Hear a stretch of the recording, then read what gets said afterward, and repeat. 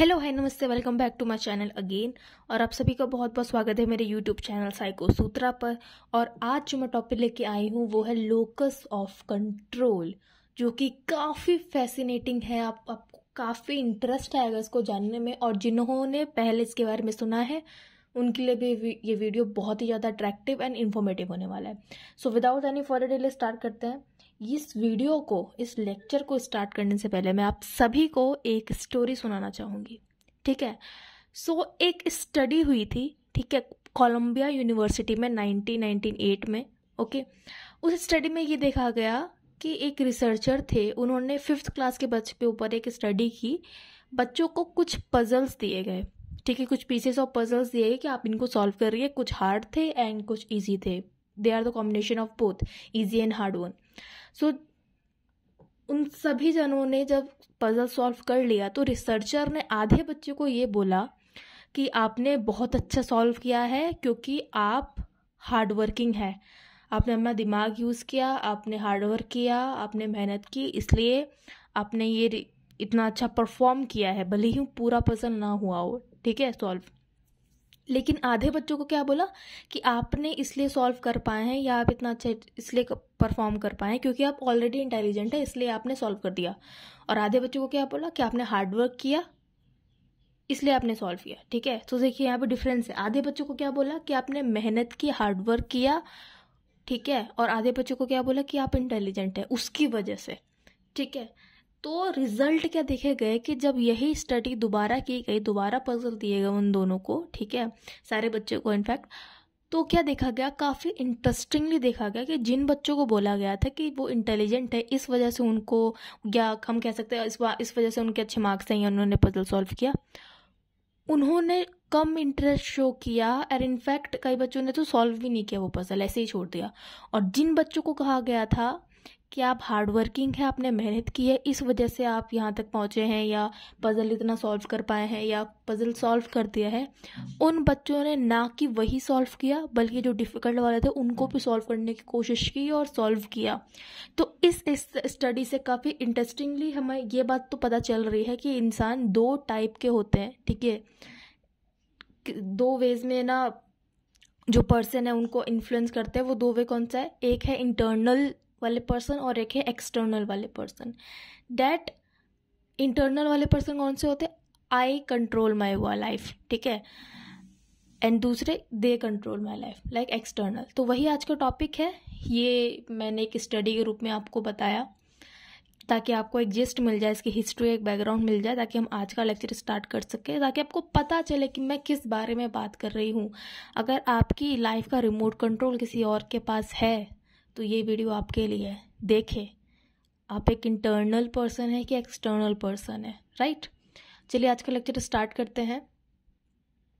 Locus of control refers to the degree to which an individual feels an sense of agency in regarding to his life his or her life right locus of control से क्या मतलब है कि एक person अपनी life का जो control है, वो कितना अपने एजेंसी में रखता है? ये मैं कर सकता हूँ, ये मैं नहीं कर सकती for example which is your locus of control आप अपनी लाइफ का डिसीज़न जो है, वो कौन, आपकी लाइफ का डिसीज़न कौन लेता है? मैं सिंपली पूछती हूँ।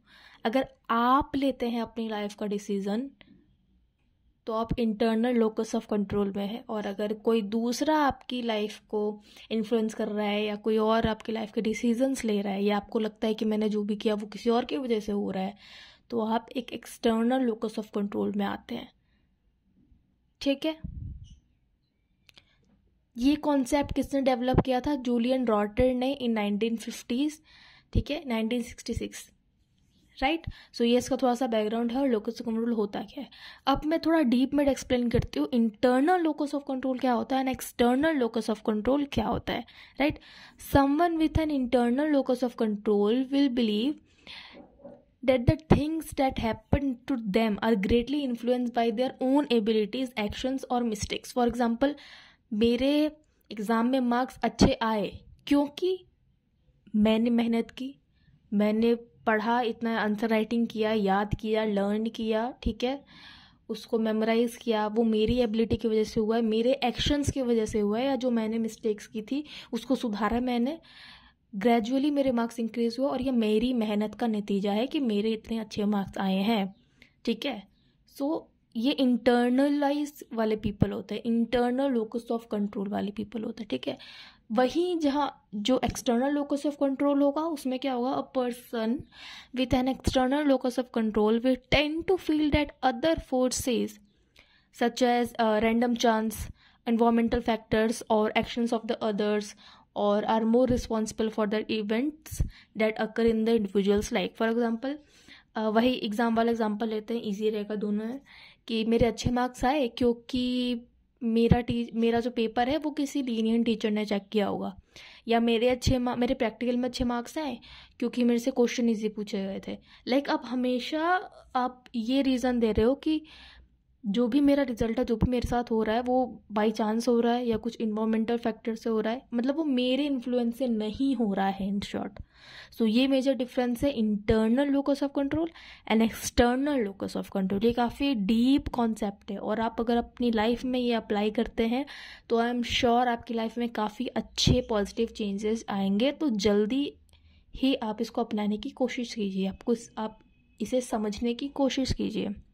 मैं हमेशा बोलती हूँ, कोई भी आप साइकोलॉजी का कॉन्सेप्ट पढ़ रहे हैं या देख रहे हैं या सुन रहे हैं, उसको अपनी लाइफ में जब तक उतारिएगा नहीं, तब तक तो कुछ होगा नहीं, कोई फ़ायदा नहीं है आपको इतना लेक्चर्स देखने की या इतना पढ़ने की, सुनने की right like other constructs in personality psychology locus of control falls on a spectrum ठीक है जेनेटिक फैक्टर जो है इसको इन्फ्लुएंस कर सकते हैं वंस लोकस ऑफ़ कंट्रोल को, और और क्या इन्फ्लुएंस कर सकता है? एक जेनेटिक जेनेटिक हो गया और एक चाइल्डहुड एक्सपीरियंसेस जहाँ से उसके बिहेवियर्स और एटीट्यूड बनते हैं, जो भी उनको अर्ली केयर गिवर्स होते हैं like for example mother father है, उनके साथ जो भी चाइल्डहुड में एक्सपीरियंसेस हुए हैं, अच्छे, बुरे, या जो जेनेटिकली आए हैं, उससे हमारी पर्सनैलिटी फॉर्म होती है, और ये लोकस ऑफ़ कंट्रोल भी उसी के स्पेक्ट्रम में आता है right researchers have identified that several areas in one sense of control appears to affect outcomes including education may health may civic engagement may. Or over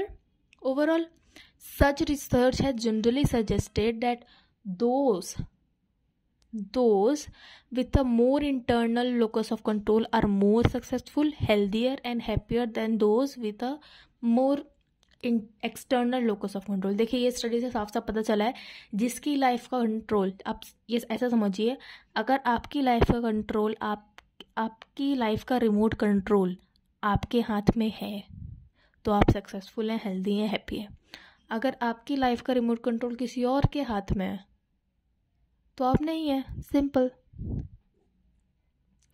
अब अगर हम इसको हम फ्लो डायग्राम के ज़रिए समझें तो लोकस ऑफ़ कंट्रोल कितने टाइप के होते हैं? Internal control external control internal control में क्या आता है कि ये जो थिंग्स हो रही है अराउंड वो मेरे कंट्रोल में है, ठीक है?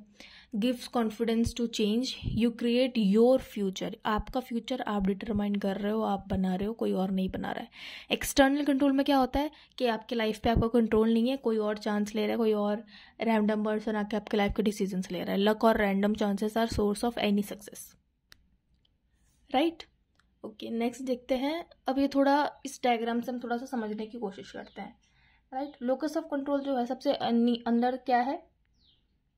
इस डायग्राम में things that you can control आपके थॉट्स आप कंट्रोल कर सकते हैं action decisions things you can influence आप किस किस को इन्फ्लुएंस कर सकते हो? अदर पीपल को अदर के एक्शन को other people's choices teams responsive to change जो आपके कंट्रोल में नहीं है, जो कि इकोनॉमी है ट्रैफ़िक है वेदर है, आपको समझने की ज़रूरत है कि कौन सी चीज़ें आपके कंट्रोल में है, कौन सी नहीं है और कौन सी चीज़ों को आप इन्फ्लुएंस कर सकते हो। राइट सो हमने क्या पढ़ा आज? कि लोकोसम कंट्रोल दो टाइप्स के होते हैं इंटरनल एक्सटर्नल इंटरनल मतलब I can control my destiny and external मतलब others control my destiny right अगर हम इसको और थोड़ा देखें, ठीक है बिहेवियर में अगर देखें तो जो इंटरनल लोकस ऑफ़ कंट्रोल अगर हमारे पास होगा तो उसका एक पॉजिटिव इन्फ्लुएंस पड़ेगा, जिससे हमारा प्रो इन्वायरमेंटल बिहेवियर बढ़ेगा, ठीक है?